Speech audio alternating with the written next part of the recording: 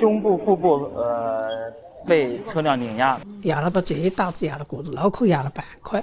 女子驾驶电动车闯红灯，不料被两辆大货车碾成肉泥。从监控画面中我们可以看到，凌晨一点四十一分左右，一辆电动车逆向停在十字路口等待。十几秒后，这辆电动车启动，从左转待行区的灌装车后方，试图左转弯。就在此时，一辆正常行驶的大货车经过该路口，将电动车撞翻在地。而张先生就是那辆大货车的驾驶员。那个人就是从水泥灌浆车屁股后面车尾部逆行闯红灯。突然冒到我车跟前了，我只有强制踩刹车，只有这一个办法。当时电动车是从大货车的视野盲区突然出现，张先生即便立即刹车也为时已晚，两辆车还是不可避免地撞在了一起，也就是我们俗称的鬼探头。你刹车再住，你不可能看到人就停在原地不动的呀，这个这个车有惯性的。张先生说，凭借着他多年的驾驶经验，他认为当时电动车驾驶员应该只会受一点轻伤，呃，头碰破了，他。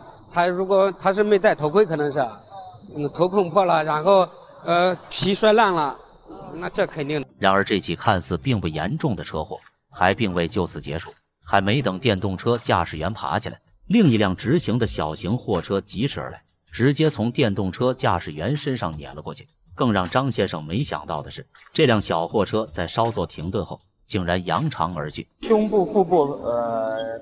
被车辆碾压，压了把这一大子压了过子，脑壳压了半块。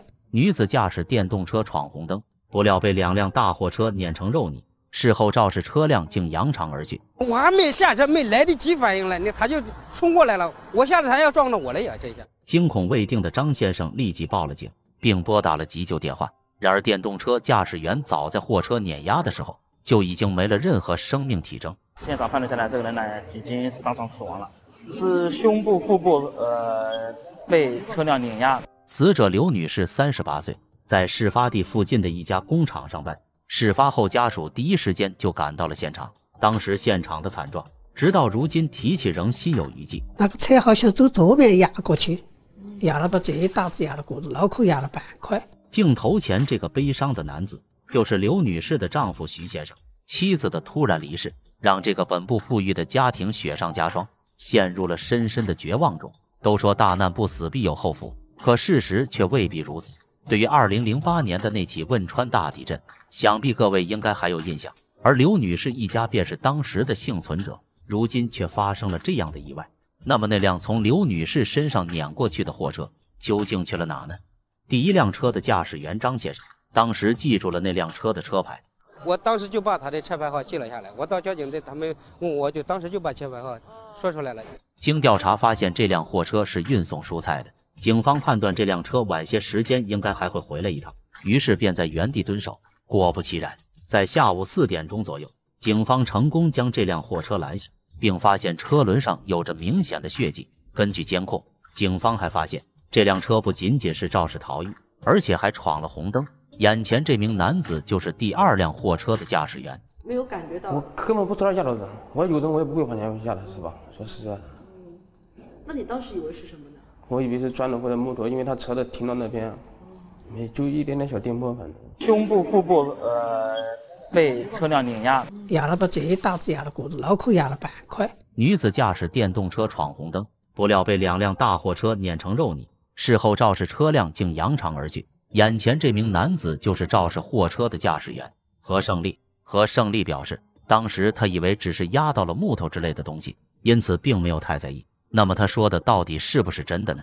对此，警方却给出了一个截然相反的答案：应该是能够明知的。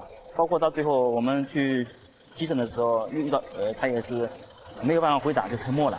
之后，警方对这起事故进行了责任认定，何胜利与死者刘女士负主要责任，而第一辆车的驾驶员张先生因为车辆的刹车性能存在一定问题。承担事故的次要责任。根据事故责任认定书，刘女士一家将两名司机以及车辆的保险公司一起告上了法庭，要求赔偿共计六十七万多元。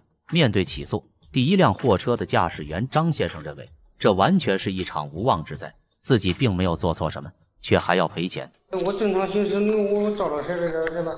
看到就傻了，我还得要赔钱。而第二名货车司机和胜利表示。愿意对死者家属进行赔偿。根据交通事故责任认定书，法院酌情作出了判决，和胜利承担百分之五十的赔偿，张先生承担百分之二十，剩下的由刘女士自己承担。最后和胜利因为交通肇事罪被判处三年有期徒刑，缓刑三年。相信大家在网上随便一搜，都能找到大量因为闯红灯而造成的交通事故。这些心惊胆战的画面，无一不在告诫人们，请遵守交通规则。